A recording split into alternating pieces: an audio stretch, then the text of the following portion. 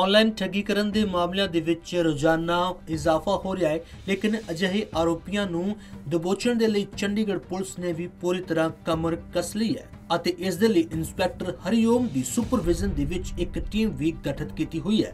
Hari Om cyber cell ਦੇ incharge ਨੇ ਤੇ ਸਾਈਬਰ ਸੈੱਲ ਨੇ ਤਿੰਨ ਨਾਈਜੀਰੀਅਨ ਲੋਕਾਂ ਨੂੰ ਗ੍ਰਿਫਤਾਰ ਕੀਤਾ ਹੈ, ਜਿਨ੍ਹਾਂ ਕੋਲੋਂ 23 ਮੋਬਾਈਲ ਫੋਨ 23 ਸਿਮ ਕਾਰਡ ਤੇ ਵੱਖ-ਵੱਖ ਕੰਪਨੀਆਂ ਦੇ 40 ਏਟੀਐਮ ਕਾਰਡ ਤੇ ਵੱਖ-ਵੱਖ ਬੈਂਕਾਂ ਦੇ ਪਾਸਬੁੱਕ, ਵੱਖ-ਵੱਖ ਬੈਂਕਾਂ ਦੀ ਚੈੱਕਬੁੱਕ ਸਮੇਤ ਵਾਈਫਾਈ ਹੌਟਸਪੌਟ ਅਤੇ ਇੱਕ ਡੋਂਗਲ ਤੋਂ ਬਿਨਾਂ ਚਾਰ ਲੈਪਟਾਪ ਵੀ ਬਰਾਮਦ ਕੀਤੇ ਗਏ ਨੇ ਤੇ ਇਹਨਾਂ ਆਰੋਪੀਆਂ ਨੂੰ ਪੁਲਿਸ ਨੇ ਅਦਾਲਤ ਵਿੱਚ ਪੇਸ਼ ਕੀਤਾ ਹੈ ਤੇ ਤਿੰਨੇ ਆਰੋਪੀ 2 ਦਿਨ ਦੇ ਪੁਲਿਸ ਰਿਮਾਂਡ ਤੇ ਨੇ इनके अरेस्ट होने से अभी हमने इनका दो दिन का पुलिस रिमांड लिया है ज़रूरत पड़ी तो इनका रिमांड एक्सटेंड भी करेंगे तो हमें उम्मीद है कि और भी मुकदमे सॉल्व होंगे हाँ जी ਇਹਨਾਂ ਦੇ ਆਈਸੀਆਈਸੀਆਈ ਬੈਂਕ ਅਕਾਊਂਟ ਦੇ ਵਿੱਚ ਜ਼ਿਆਦਾ ਟ੍ਰਾਂਸਫਰ ਹੋਈ ਸੀ सर आप कह रहे थे कि लड़की का फेक अकाउंट बना के करते कोई लड़की भी है सर इनके लड़की नहीं है किसी? नहीं नहीं अभी ऐसा कुछ निकला नहीं है वो जिन जो लड़कियों की ये प्रोफ़ाइल वगैरह यूज़ कर रहे हैं, उसको हम इन्वेस्टिगेशन में देखेंगे कि कैसे उनका नाम यूज़ कर रहे हैं ये लोग। नहीं, अभी तक लोकल इन्वॉलमेंट सामने आई नहीं है। ये इनका, जैसे ये मोडस ऑपरेंडी है तो ये कुछ पैसे वगैरह उधर अपने अफ्रीकन कंट्रीज़ में भी ट्रांसफ़र करते हैं।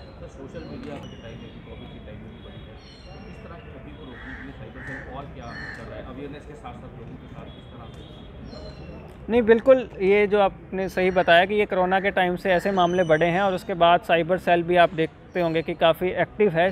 जैसे ये कंप्लेंट फेबररी में आई थी साथ के साथ इसमें पर्चा रजिस्टर करके हमने बंदे पकड़े हैं। तो बाकी जो साइबर अवेयरनेस की, ये भी अभी जो अपनी एक्टिविटी हो रही है, ये इसके माध्यम से भी हम साइबर अवेयरनेस करना चाहते हैं। सब लोगों में जाएगा तो ऑब्वियसली वो अलर्ट होंगे।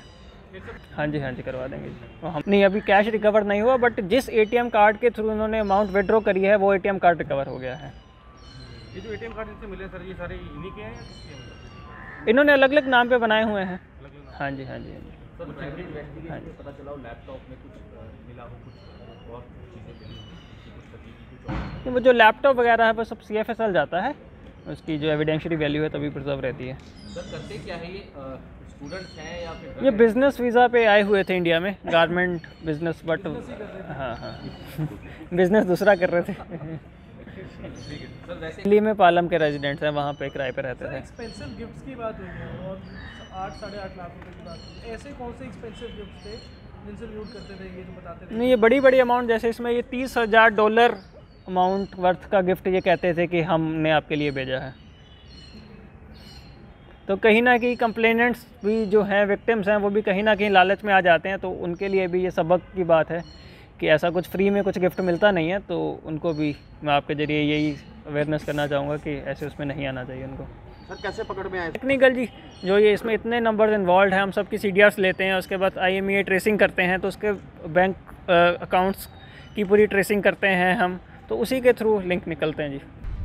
ਆਰੋਪੀਆਂ ਨੂੰ ਪੁਲਿਸ ਨੇ ਗ੍ਰਿਫਤਾਰ ਕਰਕੇ ਅਦਾਲਤ ਵਿੱਚ ਪੇਸ਼ ਕੀਤਾ ਹੈ, ਜਿੱਥੇ ਕਿ ਤਿੰਨੇ ਆਰੋਪੀ ਅਦਾਲਤ ਵੱਲੋਂ 2 ਦਿਨ ਦੇ ਪੁਲਿਸ ਰਿਮਾਂਡ ਤੇ ਭੇਜ ਦਿੱਤੇ ਗਏ ਨੇ ਤੇ ਉੱਥੇ ਹੀ ਐਸਪੀ ਸਿਟੀ ਕੇਤਨ ਬੰਸਲ ਦੇ ਮੁਤਾਬਿਕ ਇਨ ਆਰੋਪੀਆਂ ਨੇ ਕਈ ਲੋਕਾਂ ਦੇ ਨਾਲ ਠੱਗੀ ਕੀਤੀ ਹੈ ਤੇ ਆਰੋਪੀਆਂ ਦੀ ਪਹਿਚਾਣ ਰਿਪਬਲਿਕ ਆਫ ਕਾਨਾ ਦੇ ਨਿਵਾਸੀ ਡੌਨ ਸਿਲਮੈਂਟ ਅਫੂਲ ਅਤੇ ਮੁਆਸੀ ਦੇ ਰੂਪ ਦੇ ਵਿੱਚ ਹੋਈ ਹੈ ਅਤੇ ਦੱਸਿਆ ਜਾ ਰਿਹਾ ਹੈ ਕਿ ਇਹ ਆਰੋਪੀ ਲੜਕੀਆਂ ਦੀ ਆਵਾਜ਼ ਬਣਾ ਕੇ ਲੋਕਾਂ ਨਾਲ ਠੱਗੀ ਕਰਦੇ ਸੀ। ਜਗਬਾਣੀ ਟੀਵੀ ਲਈ ਚੰਡੀਗੜ੍ਹ ਤੋਂ ਕੁਲਦੀਪ ਕੁਮਾਰ ਦੀ ਰਿਪੋਰਟ।